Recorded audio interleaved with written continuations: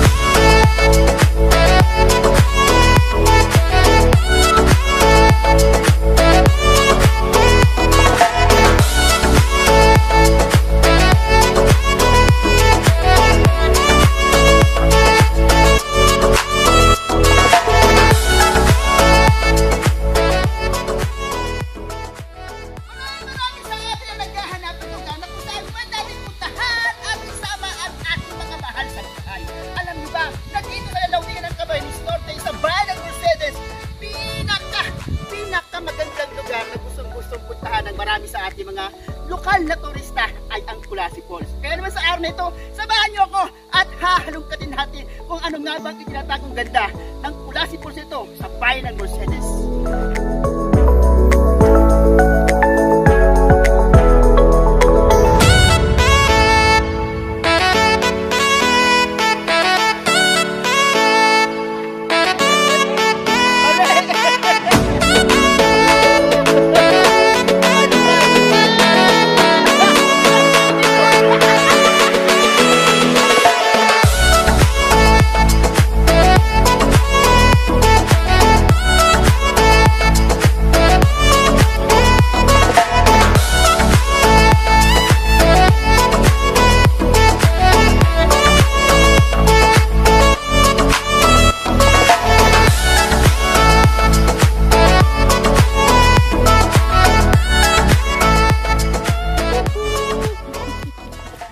Tamang gala tayo ngayon guys.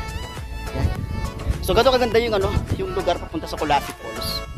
So enjoy yung tropa at ah, grabe, sobra.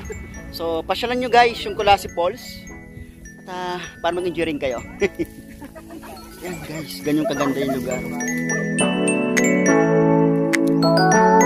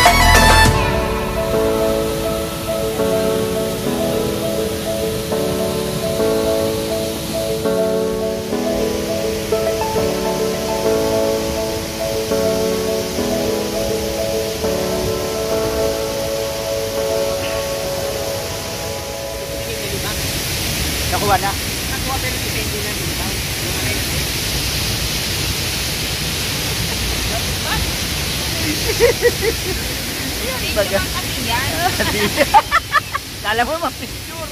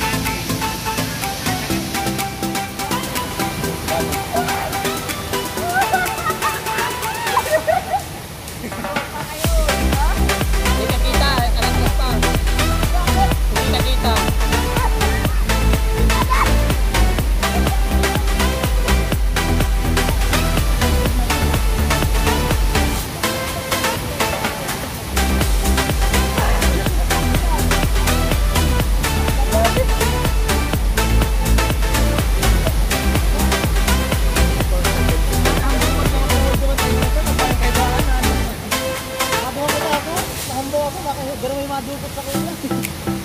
Nano ako? May, may, may ano dyan sa loob mo yan? Parang po na.